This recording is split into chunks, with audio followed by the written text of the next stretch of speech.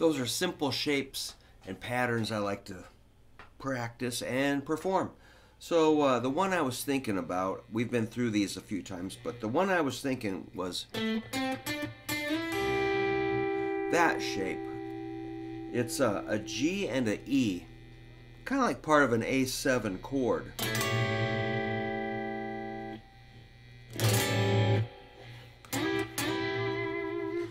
Reminds me of an AC/DC song.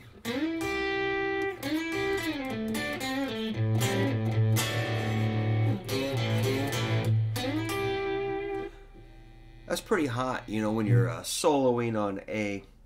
Some of the other shapes, just to get us kind of in the zone, would be fifth fret, first and second strings. Pretty common. I like to add this thing here. That's a C and an F sharp.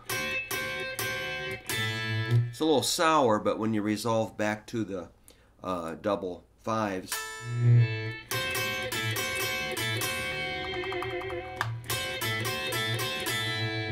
kind of a cliche. We use that all the time. The other, okay, so getting up to the shape I was kind of getting at there, it's a 9 and an 8. 9 is on the third string, 8 is on the second string.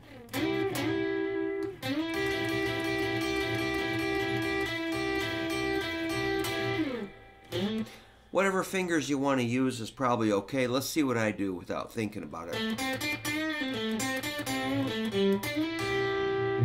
Looks like I like uh, ring in middle.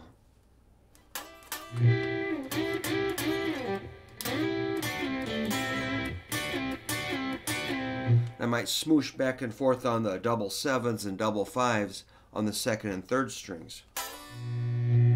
Boy, a lot of hum on that guitar, isn't it? Oh, I made a mistake. I like it. So I got double eights, double sevens, double fives.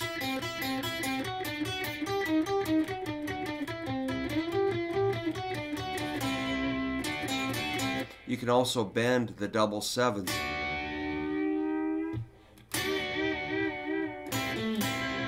That's groovy. You got your good old AGA.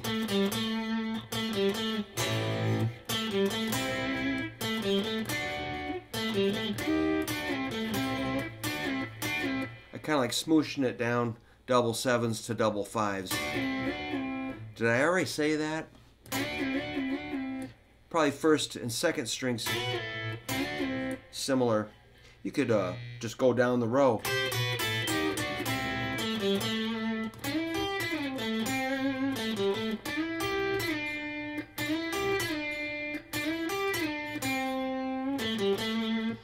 When you get to the third string, fifth fret, I like to towards the floor just a little bit. You don't want to go, unless you do, but I like very subtle bend there.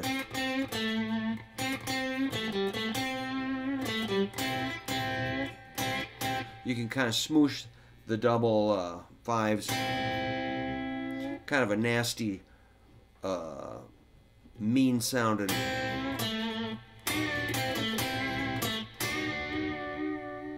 You can also bend the double sevens.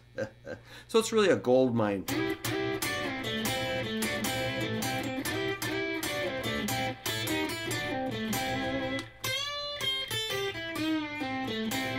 Good old A minor pentatonic.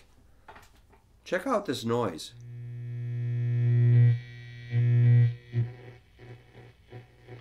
Alright, man. It's probably because I'm too close to the computer or something.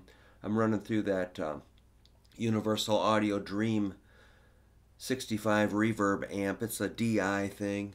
Probably too much electronic equipment all close. But, uh, you know, you get the idea. You get to a point where that hum and buzz, you're like, sounds like rock and roll to me. No big deal. Uh, so a little bit of hum and buzz is good for you. All right, work on those flat shapes and groovy shapes if you feel like it. I think it's cool. You can do it in any key also. Move it up a half step. you're in the key of B flat, same geometry. So once you learn a lick, be sure to move it up and down the neck into other keys.